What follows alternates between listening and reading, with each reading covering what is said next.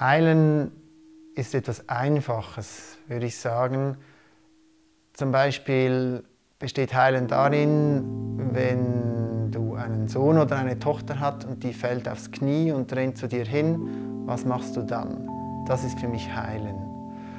Oder Heilen bedeutet für mich im Moment sein. Es bedeutet für mich einfach sein. Es bedeutet für mich klar zu sein. Es bedeutet für mich zu wissen, was der nächste Schritt ist. Es braucht nicht den übernächsten Schritt, den braucht man nicht zu wissen, es reicht der nächste.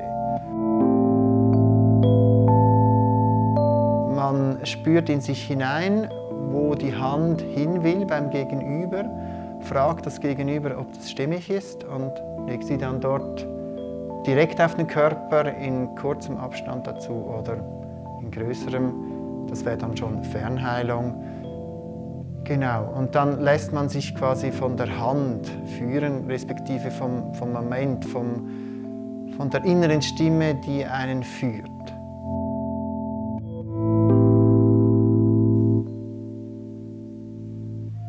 Ich könnte dir jetzt Übungen sagen, die ich mache oder Meditationen.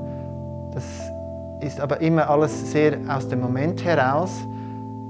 Lieber möchte ich sagen, dass es nicht darum geht, Dinge hinzuzufügen, die man lernen muss, sondern ich nehme eher Dinge weg, also so wie Schleier, damit man dem vertrauen kann, was man schon in sich hat. Das ist die eigentliche Arbeit dieses Lehrganges.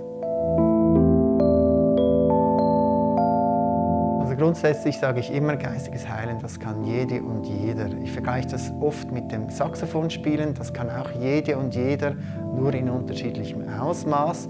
Jetzt beim Heilen ist es so, ähm, ich habe das Beispiel gebracht, dass wenn ein Kind äh, aufs Knie fällt und dann auf die Mutter zurennt oder auf den Vater, was macht der oder diejenige dann? Das ist bereits heilen. Insofern kann das jeder oder jede. Man kann es aber ausbauen, man kann diese Fähigkeit verfeinern. Insofern, es kann jeder und jede, man kann es aber auch noch dazulernen.